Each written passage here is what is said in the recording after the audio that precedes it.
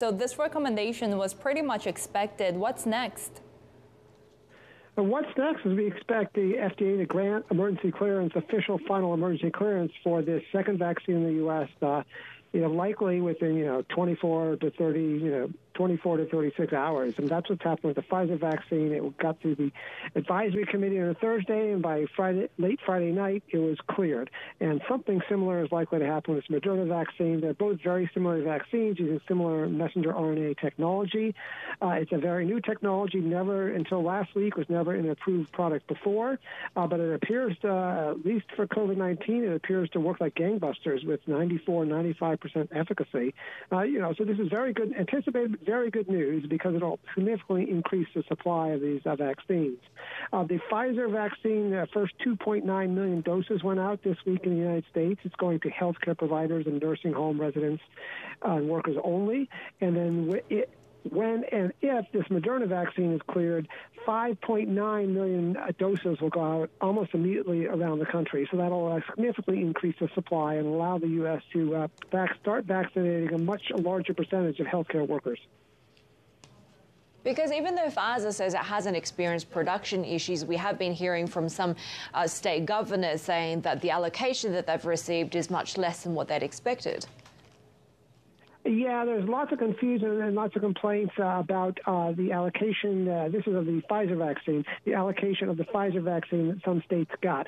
Uh, and it, it's really hard to parse the details of that, even to really tell exactly what's going on. There's no question that governors are complaining about it.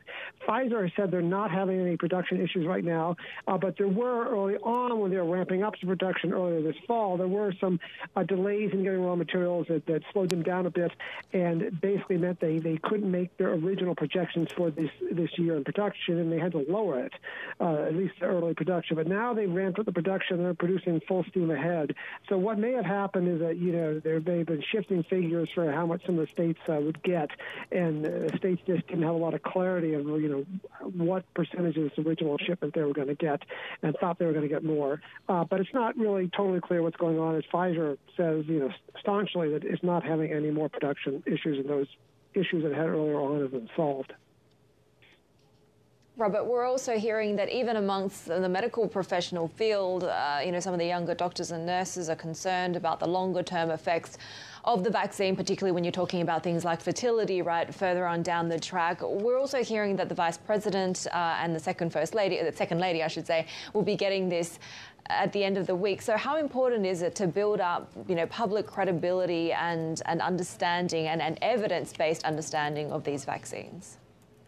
Well, exactly. Well, that's a very important issue, and that is one reason building up visibility and credibility is one reason the U.S. Food and Drug Administration didn't just go right and approve these things like two days or three days after getting the application. It went, even though we're in the midst of pandemic, it made made sure to go through this kind of formal process, a standard process of, of bringing it before a public committee, a public committee of leading doctors to, to vote on it. So all the data would be vetted in public. And, and the other thing the FDA does that not many regulators around the world do is it it what it got the raw data from both these vaccines, both Pfizer and Moderna, and reanalyzed it themselves. They didn't take the company's word for it. They took the raw data and reanalyzed it with their own statisticians and basically came to the same numbers: 95% effective, 94% effective. So it's been taking steps uh, to to bolster confidence in the vaccine that, the shortcuts aren't being taken.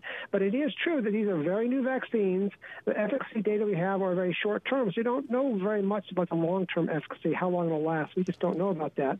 Uh, so far, they seem uh, very safe. Uh, there's been a few allergic reactions with the Pfizer vaccine, uh, but you know, not that many so far. Given that in the U.S., uh, the way I look at it, in the U.S., literally 2.9 million people are getting it this week. Uh, so your one severe allergic reaction, that's an uncommon event. That's what we've had so far. So there may be more of an issue that emerges. You know, we'll just have to tell about some of these way very rare serious adverse events. They do happen occasionally with vaccines, and, and, and you know, you shouldn't hearing about one or two uh, severe reactions in a vaccine that's being rolled out at a faster scale than ever before. You know, that's not a reason to panic. You know, some severe reactions, you know, giving something to millions of people are to be expected.